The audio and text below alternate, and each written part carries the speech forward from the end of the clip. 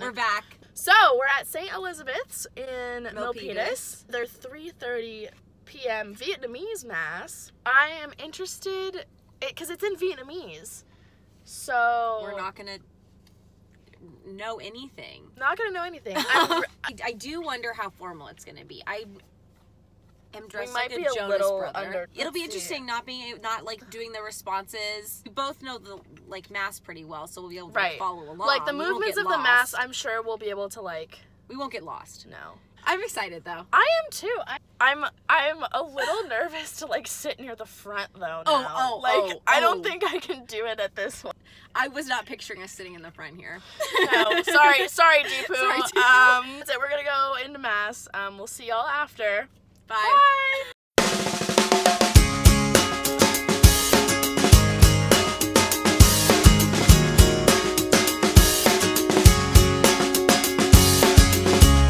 Hello. Hi. We're back. It was really good. Couldn't understand a single word. So what was interesting is that the whole time I was trying to make sense of the words, though I can't because I don't speak Vietnamese, mm-hmm. I forgot the, some of the responses. I was like, what? What do we even say right here?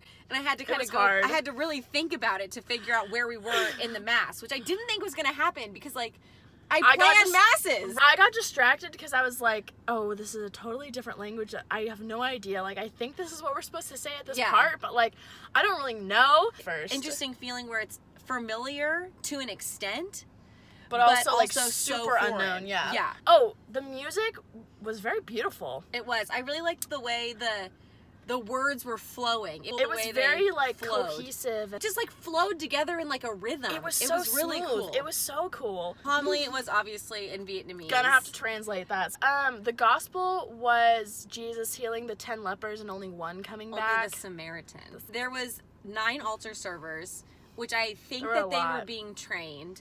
I felt like it was a big church. I felt like there was a lot of people.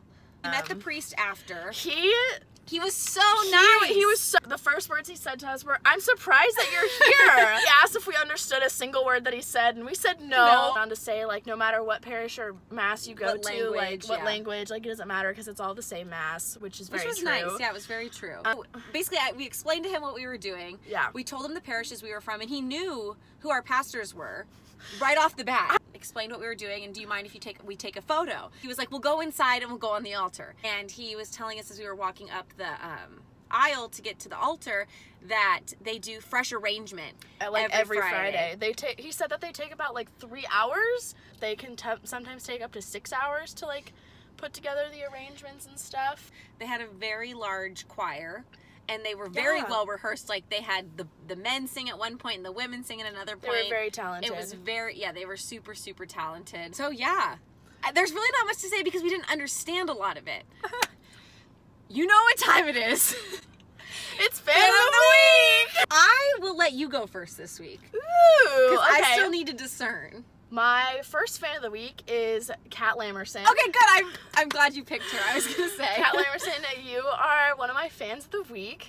Um, my second fan of the week is going to Ro David. this week, seventh grade fan of the week is going to Katie. Yay, Katie. All right, my eighth grade fan of the week is going to be Rylan. Thanks for being so into youth ministry and so into Edge.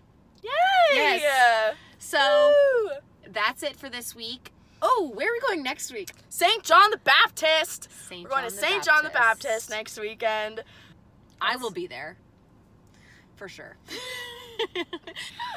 so happy Sunday. Happy Sunday, everyone. We'll see you guys next Sunday. Bye.